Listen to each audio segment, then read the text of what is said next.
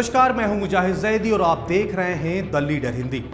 आज हम बात करेंगे मुख्तार अंसारी की, क्योंकि मुख्तार अंसारी को यूपी लाना है और कल मुख्तार को मोहाली कोर्ट में पेश किया गया, जिसके बाद उसको रोपड़ जेल में दोबारा शिफ्ट किया गया।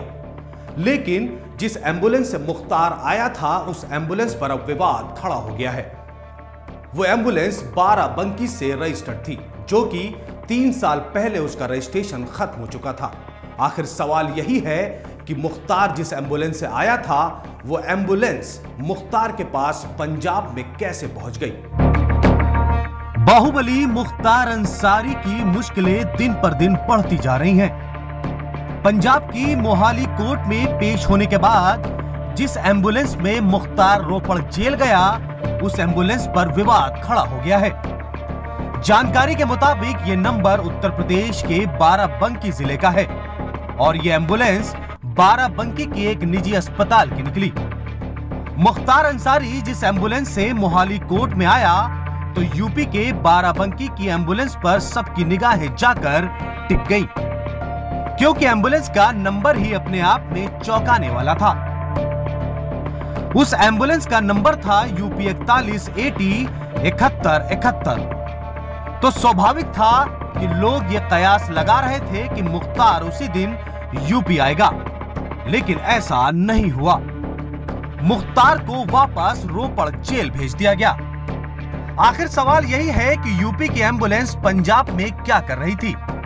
जब पता चला तो ये नंबर राजधानी लखनऊ से सटे बाराबंकी ज़िले का था। एंबुलेंस बाराबंकी के श्याम सन अस्पताल के नाम पर रजिस्टर्ड है। लेकिन इसका रजिस्ट्रेशन तीन साल पहले खत्म हो चुका है। इस एंबुलेंस के मालिक का नाम डॉक्टर अलका राय है। परिवहन विभाग में एंबुलेंस मालिक का जो नंबर दिया गया है, वो भी गलत निकला।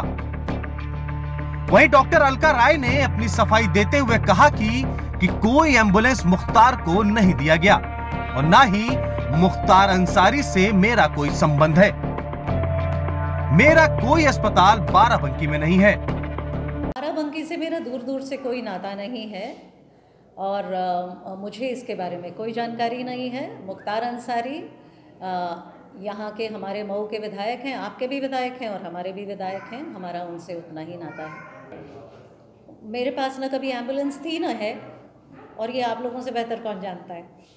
मैं, मैं कभी बाराबंकी गई भी नहीं हूँ। उस शहर से मेरा दूर दूर से कोई नाता नहीं है। लखनऊ से भी नाता नहीं है, बाराबंकी, या तो मऊ से नाता है और या तो सीधे दिल्ली से नाता है। अब ये सवाल आता है कि निजी अस्पताल की ये एंबुलेंस मुख्तार अंसारी तक कैसे पहुँची? इस पर पड़ताल की गई तो पता चला कि इसे मुख्तार अंसारी ने निजी तौर पर किराए पे ले रखा है। Bureau report, the leader Hindi.